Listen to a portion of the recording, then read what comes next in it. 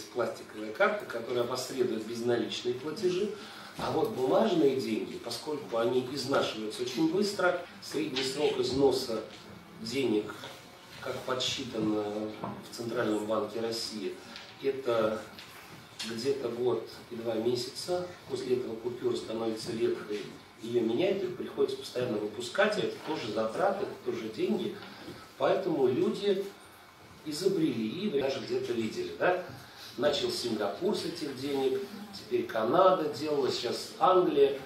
И в России эту технологию долго не могли освоить, она очень сложна, потому что в центре лежит специальная бумага, там должно быть стеклянное окошечко, сверху, снизу пластик. И вот все-таки освоили.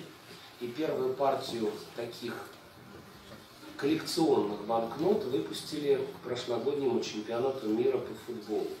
Очень красивые деньги, они имеют оборачиваемость, но их никто, естественно, в оборот не пускает, их коллекционируют люди, потому что их стоимость каждый день растет. И я хочу одну такую банкноту подарить сегодня человеку, чей вопрос показался мне самым интересным. Девушка, вам